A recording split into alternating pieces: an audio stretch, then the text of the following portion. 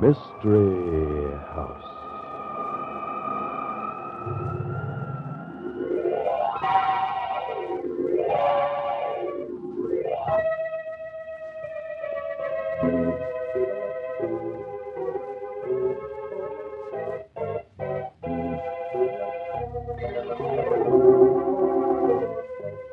Mystery House, that strange publishing firm owned by Dan and Barbara Glenn, where each new novel is acted out by the Mystery House staff before it is accepted for publication. Mystery House.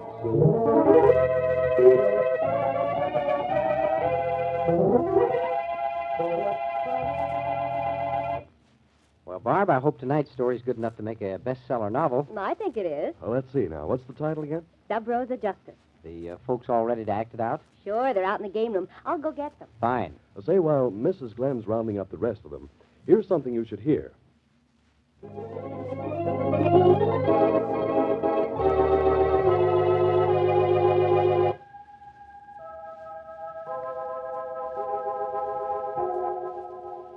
Okay, places, everybody.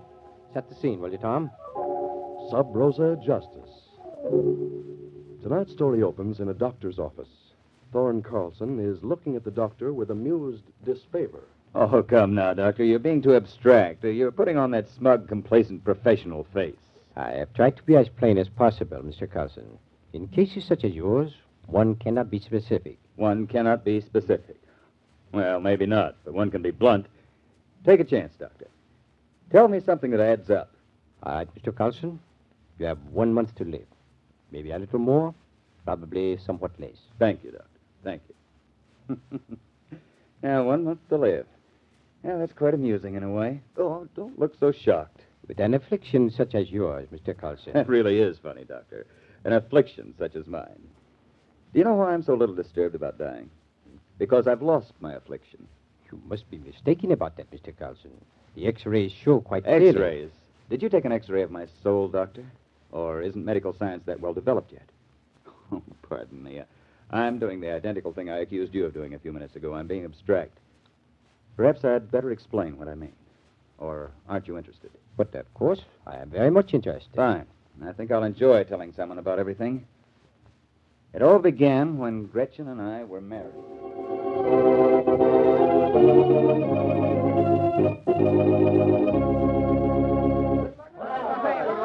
Goodbye, everybody. We'll be back in three weeks. And and here's a little surprise for all of you. Surprise? What are you talking You about? see?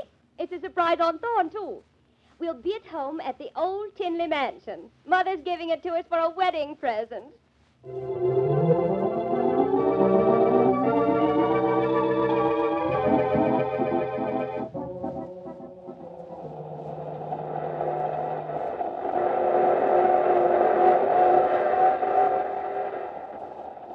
Gretchen, you knew I'd rented an apartment for us. Uh, why didn't you tell me about the Tinley Mansion? Why, I wanted it to be a surprise, Thorn. And it's a perfectly marvelous one, isn't it? It's out, Gretchen, completely out. Why, Thorn, you're joking. I can't afford to keep up the place. And besides, I couldn't be happy rattling around in a huge old barn like that. People can afford anything they want. Smart people. And I couldn't be happy in a stuffy little apartment. We'll get along. But I don't make enough money, Gretchen. That place, well, it must cost a fortune to keep it going. You're quite right, Thorn, about not making enough money. You don't. And that's one of the first things we're going to change. You must develop contacts. Contacts? Oh, you mean live off my friend's charity? That's just the point. Most of your friends couldn't afford any charity. We're going to move up, Thorn, and the Tinley Mansion's going to help us do it. Did it ever occur to you, Gretchen, that I might not want to move up? I'm pretty happy just as I am. You're brilliant, Thorn, but you lack ambition. That's one reason why I'm going to be good for you. I can think of some other reasons, Mrs. Carlson. Oh, Thorn, don't don't get mushy. Our marriage can be a tremendous success if we take advantage of all our weapons. Weapons? Your biggest asset is personal charm. You do have it, darling. And Mother can help us socially, with money, too. You almost scare me, Gretchen. You talk like this was a, a business deal. You married a smart woman, Thorn. I married a lovely one. You don't really know how smart I am. No? Remember when you were running after uh, Diana Tracy? Yes, I remember. Everybody was saying you'd marry her. Gretchen, please. And then she went to New York without even saying goodbye to you. You don't need to rub it in. You never knew why she left, did you? No, I didn't. It was because I told her you and I had been secretly married for six months. What? You see, I know how to get what I want. Everything I want. You you told Diana that. Yes. and she fell for it. Uh, uh, Thorne, uh, don't stare at me like that. What's the matter? Nothing. I I guess you do love me, don't you? Why, why, of course, Thorne. Of course I do.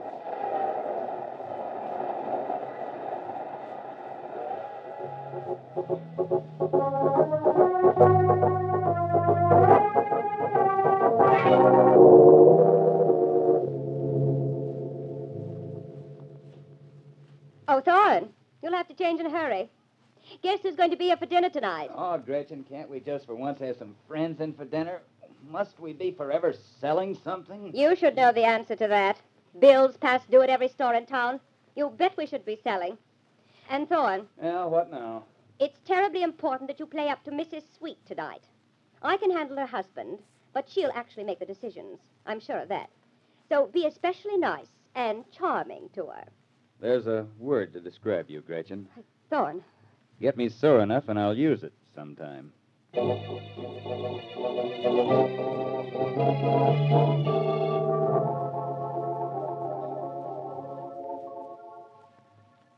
there you have it, Mr. Shannon. What do you think? Well, that's very good, Mrs. Carlson. I, uh, I wish you weren't married. You'd be a great success in the advertising business. I will be anyway, Mr. Shannon. Oh, you mean you'd go to work for my agency? No, but my husband will, and I'll press the buttons. I'll be working for you almost as if I had an office here. I don't doubt it a bit. Uh, what's your proposition? You have a fine agency. Your trouble is that you don't have enough good prospective clients. You're too cold-blooded a businessman. Cold-blooded? Well, uh, go on. My husband's a business fool, but he has charm and social position. He has the things you need. I sell on the merits of my product. Oh, nonsense. You need what Thorne could give you, and you know it. Well, what does Mr. Carlson think about all this? He's an architect, isn't he? Well, I haven't even consulted him yet. But he'll come into your agency if I tell him to. There's just one catch to it, Mr. Shannon. Yes, what's that? He'll cost you a half interest in your agency.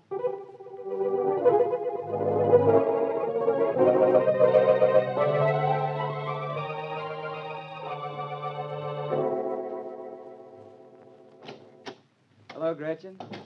Oh, you're looking beautiful tonight. I have two surprises for you, Thorne. Oh, what have you done now? But what do you mean? I've learned to distrust your surprises, Gretchen. You have the nerve to say that? Haven't they always worked out for the best? Haven't I brought you right up the ladder? All right, what now? First, we're going to have a baby. Oh that's wonderful, darling. Just a minute. Second, you're through with architecture. Huh? The arrangements are all made, and I drove a hard bargain. You're going into an advertising agency.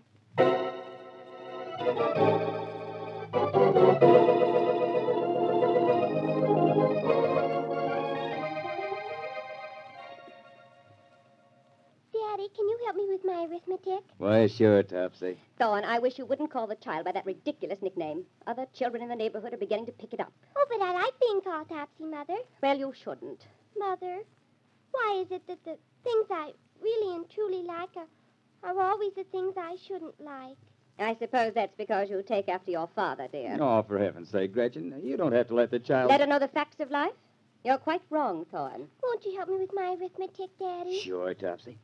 You know, uh, we've got to get E. E. Cummings' book of poetry, uh, Is Five. Is five? Uh-huh. What does that mean? well, you see, Topsy, a lot of uh, stuffy grown-ups have made a lot of rules. And because they've made those rules, certain things are so. And the rules say that uh, two and two are four. Well, aren't they? Mm, For most people, yes, Topsy. But not for you and me. You see, Topsy, you and I are among the privileged few. And just because some old sour-faced schoolmaster's made a rule, you and I don't have to believe it. Well, what do we believe then, Daddy? Well, uh, we think that uh, quite possibly, under the right circumstances, uh, two and two aren't four at all. No, no, maybe when the moon's in the right phase, two and two's five. Oh, and I won't have it, you hear? I work to keep her from being an impractical fool, and you tear down everything I do. Not quite everything, I'm afraid, Gretchen. But I try hard. Oh, are we expecting guests this evening? Only Bob Shannon. I asked him over. Run on up to bed, Dorothy. I'll take you, Topsy. The child's quite capable of going to bed by herself. Come on, Topsy. Last one up the stairs is a purple-faced baboon. Oh, Bob, come in. Hi, Gretchen. Why the command summons? I thought there were some things we should discuss. Ah, Gretchen, you know I love this house. It's so cool and efficient looking. Uh, where's Thorne? He went upstairs to put Dorothy to bed. He'll be down in a minute. He's a swell guy, Gretchen. You did me a big favor that day that you came in and sold him down the river. I don't do favors. A business deal is mutually advantageous. I've never been able to figure you out, Gretchen. You make the Mona Lisa look like an open book. Nonsense. Were you ever in love with Thorne? I mean, before you married him? Well, of course. I saw great possibilities in him. I'm glad you never fell in love with me, Gretchen. Oh, I don't know. I could have done a great deal for you, Bob. Actually, you'd have been much better material than Thorne. Did I hear my name? Huh. Hi, Bob. Oh, hi, Thorne. We were uh, just admiring Gretchen's handiwork. Sit down, Thorne. Why so solemn? I have a little surprise for you men. Oh, watch out, Bob. You don't know her surprises like I do. I've been checking the firm's books. Well, we've come a long ways in the last nine years, haven't we? I checked them myself the other day. Yes. Yes, we've come a long ways. And nearly 80% of the billing is Thorne's. sure, I get it, and Bob takes care of it. Not a bad deal. Hmm. Not a bad deal for Bob. Huh? What do you mean? I mean that, well, frankly, you're not carrying your share of the load, Bob. You aren't contributing as much as we are. No? What are you going to do about it? Thorne's pulling out of the agency. He's moving over to Modern as a senior partner. Thorne, you do that to me. Well, this is a complete surprise to me, Bob. I, I have didn't have made any... all the arrangements. Thorne's clients have agreed to the change. But you can't do that to me, Gretchen. You'd tear down overnight all that I've been years building up. Well, it's more than a business to me. It's it's everything I have in the world. It's my life. Don't worry, Bob. I won't do it. You won't have anything to say about it, Thorne. You see, I knew you'd be swayed by sentiment, so um, I got your clients to approve the change. I started Thorne out in the business. We're partners. You never gave us anything we didn't earn. It was always business, and it's still business. Goodbye, Gretchen. Thorne, where are you going? Out. I may be back, and I may not. He means it, Gretchen. Your plan won't work. He'll be back. You're forgetting Dorothy. Yes, Dorothy. Poor little kid. Poor, poor little kid. I think I'm going to do her a favor. A great favor.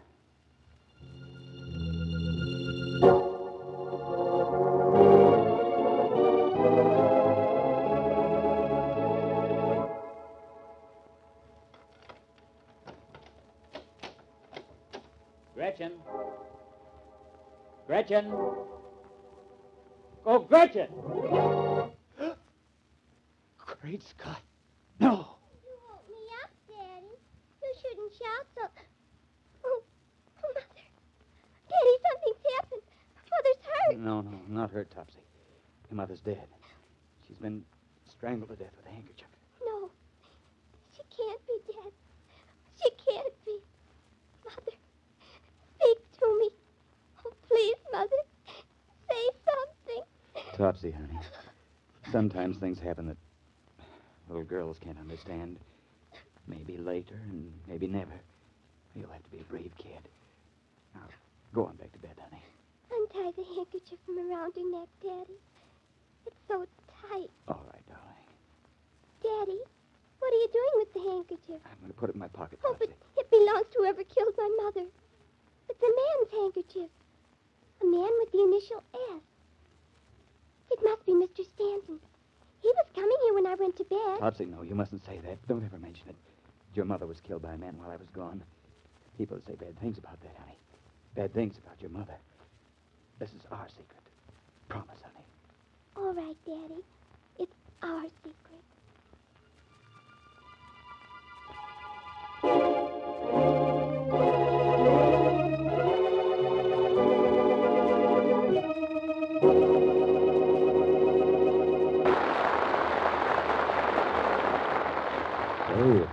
have to be murders, I'm all in favor of having them happen to people like Gretchen.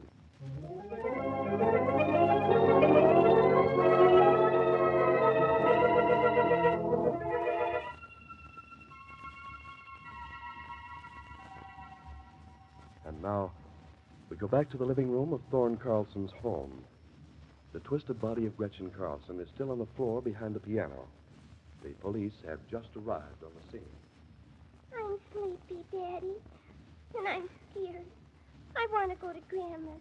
In just a little while, lass. You can go to your grandma's. Maybe I'll take you in a squad car. Wouldn't that be fun? Topsy, uh, this is Mr. Dolan. He's from the police. How do you do, Mr. Dolan? How do you do? So your name's Topsy, huh?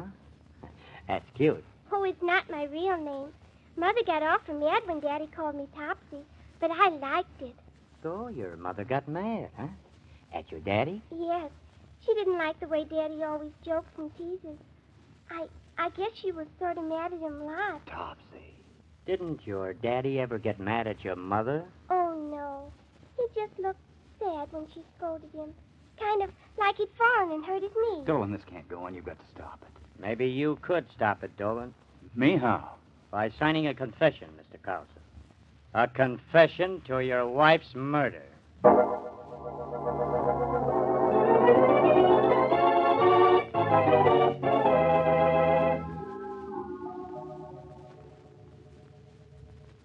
You've learned that Gretchen and I had our quarrels, what next?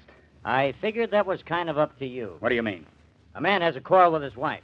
The wife is murdered. But I tell you, I wasn't even here when she was murdered. Sure, you tell me that. I wasn't mad tonight. I was just disgusted. So disgusted that I walked out on them. Them? You hadn't said anything about anyone else. You said you and your wife were alone. I. We were. When a woman gets murdered, there's a reason. Either you're lying about you and her being alone, or you killed her. No, no, that's not true. You had a motive. You hated your wife. You fought with her. You had the opportunity. You were alone with her tonight. Stop it. Don't you have any feelings at all? I'll get it. Hello? Oh, Newton. What? Well, I'll be darned. You don't tell me. that just goes to show you never know, doesn't it? Okay, thanks, Newton. I'll see you later. Goodbye. What was that? Never mind. Are you ready to sign a confession? No. You'll hang, Carlson. You'll get a rope around your neck just as tight as the one you tied around your wife's neck. It wasn't a rope. Oh, so it wasn't a rope. Well, now we're getting somewhere. Come on, you might as well come clean, Carlson. You'll spill the whole works sooner or later. No, listen, you can't talk to my daddy like that. Topsy. You're a bad man, and I hate you. Besides, you don't know what you're talking about. Topsy, I thought you were in bed. I was sitting at the top of the stairs listening. Hang it, Dolan. You can't torture the youngster this way. So I don't know what I'm talking about, huh, Topsy? No, Topsy, please. But I'm sure I do know what I'm talking about, Topsy. but it wasn't a rope at all, just like Daddy says. He was telling you the truth. Then what was it? Pops, for the love of It Mike. It was a handkerchief, that's what it was. A man's handkerchief, wasn't it, Daddy? Honey, honey, please go on back up to bed. You shouldn't be down here. So it was a man's handkerchief.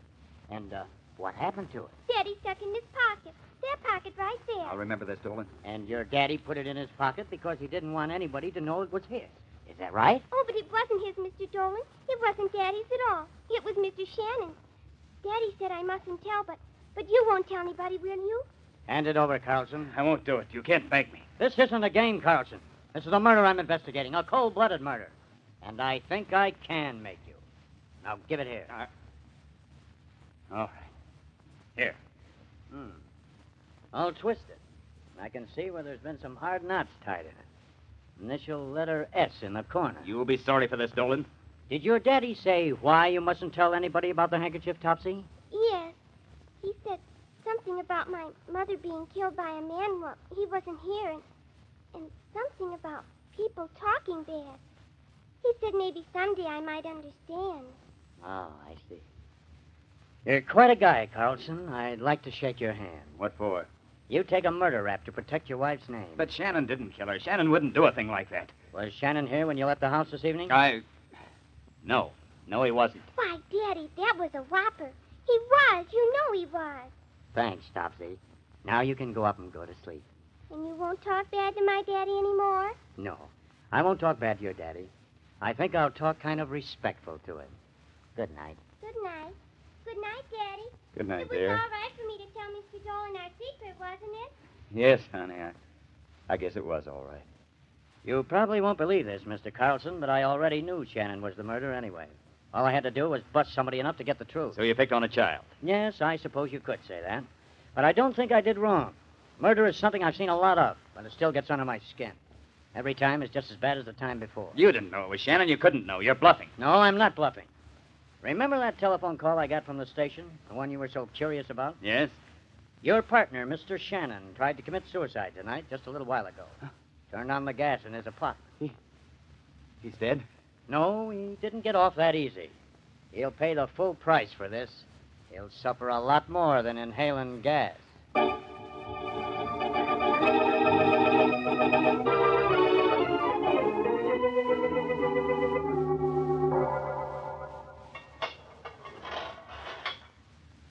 Have ten minutes with him, Mr. Carlson. I'll tell you when your time's up. All right. I'm sorry, Bob. Dreadfully sorry. How you ought to hate me, Thorne. Yet you're the only friend I have. The only one who tried to save me. Didn't do any good, but you tried, Thorne. You're not guilty, Bob, even if the jury said you were. I know that. Ah, I'm afraid I am guilty, Thorne. I remember saying to Gretchen something about Topsy. I said, I'm going to do her a favor. And then Gretchen laughed at me, and I slapped her face. Everything went black, and the next thing I remember, I was in the hospital. They didn't believe me when I told them that, Thorne. I don't suppose I'd believe it if I were on the jury. I believe you, Bob. There's still a chance. The governor. No, no. It's better this way. Our business is gone now. You know that. Everything I worked for all my life. Gretchen had her way, Thorne. I'd have lost it if she'd have lived. Her death took it away from me anyway. She was the most evil woman I ever knew. I. I'd gladly trade places with you, Bob. No, no. I thought about that, Thorne. About trying to throw suspicion on you, but that was no good. Why not? There's Topsy. Yes. There's Topsy. I. I don't regret a thing, Thorne. I've no relatives, nobody to humiliate. And I've done the kid just what I said I would. I've done her a favor. So waste no tears, Thorne. It's a good job all around. Just forget about the governor. No dramatics, no scenes. Your ten minutes is up, Mr. Carlson. Thank you, Dolan.